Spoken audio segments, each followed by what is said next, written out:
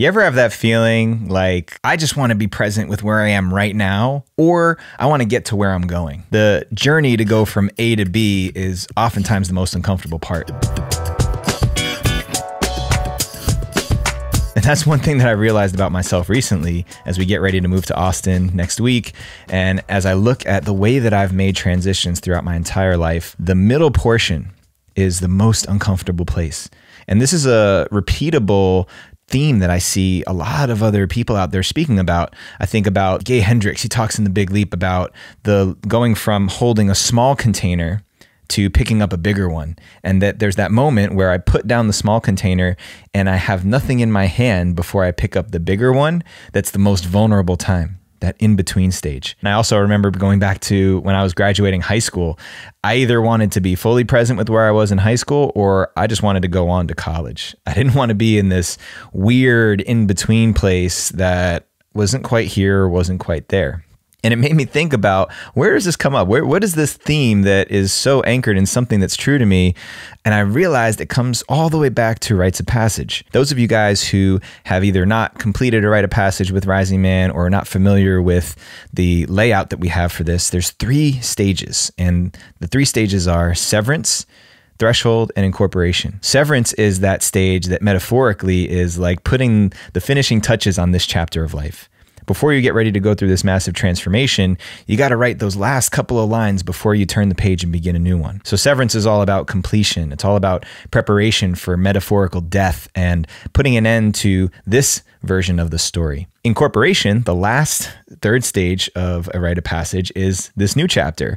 You've opened up a brand new page and you're writing a whole brand new story based off of the last chapters that you had before this, but it's an entirely new one. It's a blank pages full of possibility and all of the room in the world to create moving forward. But there's that in between stage called threshold. Um, a man named Mike Bodkin, who has been in rites of passage work for several decades, talks about this threshold time as the in between worlds. It's that beautiful space and, and really magical space of not quite here, not quite there, but just really, really, really being present to what's happening. When we take guys out for fast, this is the four days you spend alone, without food, without contact with other humans, in the middle of the wilderness, completely removed of all the typical distractions we have in our lives. And I realized that I've been in a bit of a threshold time when I think about my transition from California to Texas, where I'm in this in between stage. And it's the same type of discomfort I experienced on rites of passage adventures that I've been on. It's the same uncomfortable experience I've had when I was going from high school to college and other transitions I've been in before. And so I thought to myself, well, I'm not unique. I'm sure I'm not the only man who experiences this discomfort when in the in between place. So, what do I do? Now that I have the awareness and I see it, ah, there we go. I'm in that in between worlds. What do I do? The key, and what I would tell people who are in that threshold space, is to be present, to listen to what's available here. Instead of wishing that I was in the past, anchored in something that was more certain, or fast forwarding ahead to a future that has a little more certainty and ground to it, can I float in this unpredictable, unknown time of not knowing exactly how long that it's going to be and resisting the urge to move more quickly through it or to regress and go back into a more predictable past? Can I be here? Can I access and extrapolate the wisdom that's waiting for me in this now moment right here, right now? In this threshold space. This is the time in the cocoon where the caterpillar is not a caterpillar anymore, but not quite yet a butterfly. How many times in our lives are we resisting those uncomfortable moments, those transition points that are so valuable and ripe with information, with wisdom, with nuggets for us to gather and glean for future endeavors. And all the while, here I am resisting, wanting to go back or wanting to race forward. Everything inside of me is calling me to be really present right now. So I ask myself, okay, what am I resisting?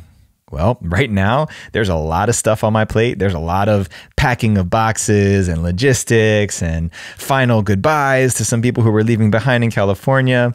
All of these little things that are uncomfortable, but when you add up, all of them put together, there's a lot more discomfort. Of course, I'm avoiding these things. Of course, I'd rather rush through it and get to the end. It's like being in a haunted house.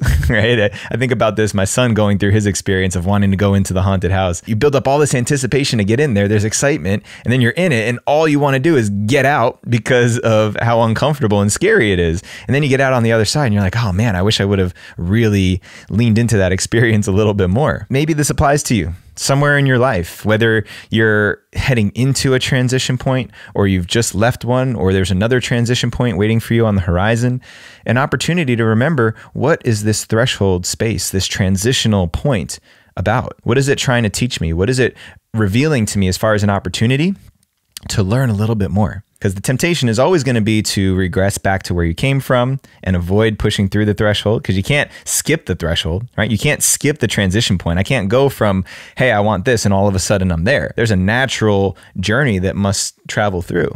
In rites of passage, you can't just do severance and then incorporation without experiencing the threshold time. And I can't just leap forward into the future and then just be in the future without experiencing what threshold has to offer without going through that transition time. So the invitation is to settle in, dig in your heels, be a little bit more curious. What am I resisting?